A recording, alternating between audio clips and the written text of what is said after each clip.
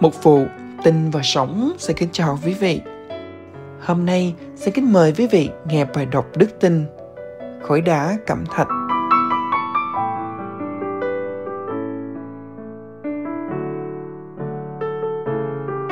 Một lần kia, các phụ nữ giàu có sinh sống tại thành phố Firenze, miền Bắc nước Italy, nảy ra sáng kiến góp một khối đá cẩm thạch lớn và thuê một nhà điêu khắc tạc thành bức tượng nào tùy ý mà ông nghĩ là dân chúng sẽ ưa thích để làm quà cho thành phố. Nhưng có lẽ đây không phải là một nhà điêu khắc tượng có biệt tài hay vì khói đá bị xẻ không đúng theo quy luật điêu khắc. Nên sau khi nghiên cứu một thời gian, ông ta không biết dùng khói đá để tạc tượng gì nên đành bỏ cuộc với lời quả quyết. Đây là một khối đá vô dụng. Kể từ ngày ấy, khối đá cẩm thạch quý giá bị bỏ ngoài trời mặc cho mưa xa tiết phủ. Một nhà điêu khắc khác cũng được mời đến xem khối đá, nhưng sau khi nhìn ngắm và có người thử phát họa vài nét nháp trên giấy, tất cả đều bỏ đi với cùng một ý kiến của nhà khắc tượng đầu tiên. Cho đến một ngày kia, Michael Lanego nhà điêu khắc và kiến trúc thời danh có dịp ghé thăm thành phố nhà. Không rõ có ai lưu ý ông về khối đá hay ông tình cờ khám phá ra, nhưng ông cảm thấy muốn tạc một bức tượng được tạc từ khối đá mà ai cũng cho là vô dụng. Ông đo một kích thước, ông bỏ hàng ngày để nhìn ngắm khối đá để tìm hứng. Bỗng chốc ông thấy thật rõ ràng một bức tượng mà ông xác tín là dân chúng thành Pharisees sẽ rất mến mộ.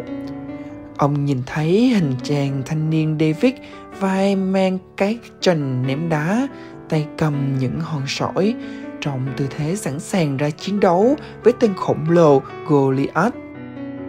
Những nhà khắc tượng khác đồng ý cho rằng đây là một khối đá vô dụng nhưng với cặp mắt của Michael Anlego, khối đá ấy đã mang hình ảnh chàng thanh niên David, vị anh hùng dân tộc Do Thái. Và lập tức ông lấy dụng cụ bắt tay vào việc mặc cho những người tạc tượng khác lắc đầu mỉm cười, ngụ ý nói rằng đây là thực công giả trang. Nhưng Michael Langelo vẫn miệt mài làm việc, gác ngoài tai những tiếng thị phi, rồi cuối cùng mọi nhát búa mọi cái đục đẽo làm nổi hẳn một bức tượng tràng David thiên ngang oanh liệt mà trải qua bao thế kỷ vẫn làm say mê hàng vạn du khách trố mắt đứng nhìn một kỳ công tuyệt tác của nghệ thuật điêu khắc.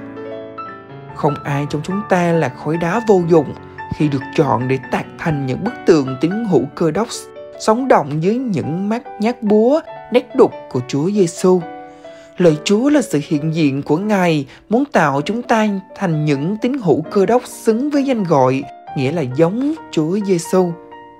Câu gốc suy gẫm Tất cả chúng ta để mặt không màn che, ngắm xem vinh hiển của Chúa như thể được phản chiếu qua một tấm gương và nhờ Chúa là Đức Thánh Linh, chúng ta đang được biến đổi để trở nên giống như hình ảnh Ngài, từ mức độ vinh hiển bình thường đến mức độ cực kỳ vinh hiển Corinto nhì đoạn 3 câu 18 Chúa yêu thương bạn.